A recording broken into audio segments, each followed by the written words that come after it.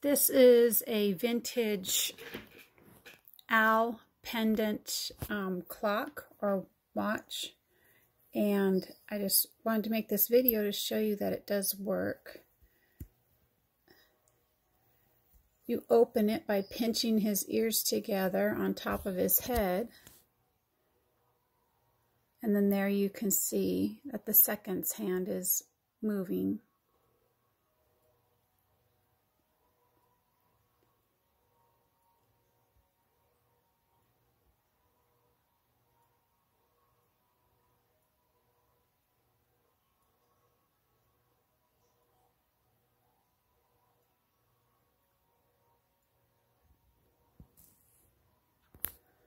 When you want to close it, you just pinch his wings back together.